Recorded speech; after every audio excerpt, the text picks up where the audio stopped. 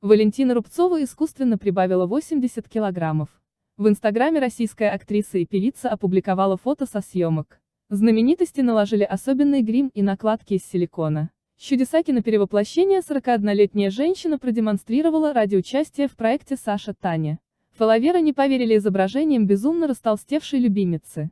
Они пролистали снимки и в итоге поняли, что это актерский грим. Специалисты решили прибавить Валентине 80 килограммов, использовали специальный клей и гибкие накладки из силикона.